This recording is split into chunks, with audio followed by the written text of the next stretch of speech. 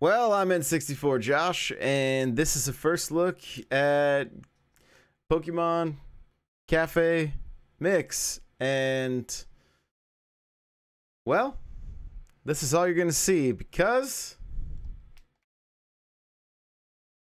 the controller doesn't work.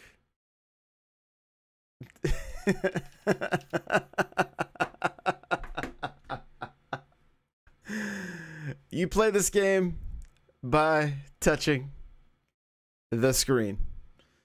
So, this has been our first look of Pokemon Cafe Mix. If you enjoyed this gameplay, make sure to hit that like button, make sure to subscribe, and we'll see you in the next video. Bye. Sorry. Sorry.